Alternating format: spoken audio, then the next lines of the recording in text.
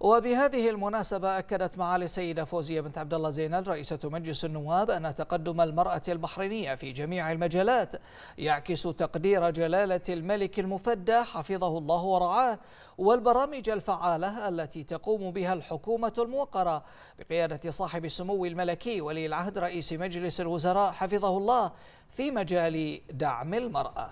وأعربت معالي رئيسة مجلس النواب عن خالص التهاني والتبريكات لصاحبة السمو الملكي الأميرة سبيكة بنت إبراهيم الخليفة حفظها الله قرينة عاهل البلاد المفدى رئيسة المجلس الأعلى للمرأة بمناسبة يوم المرأة العالمي.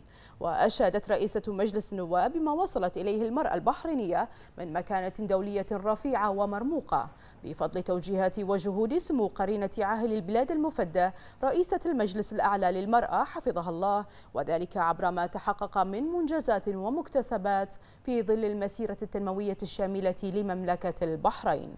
مؤكدة معاليها أن مملكة البحرين تحتفل بهذه المناسبة في ظل النجاحات الواسعة التي حققتها المرأة البحرينية في مختلف المجالات في ظل رعاية واهتمام سموها وبما أولته من دعم للمرأة البحرينية لتكون عنصرا فاعلا ومؤثرا في خدمة وطنها ومجتمعها.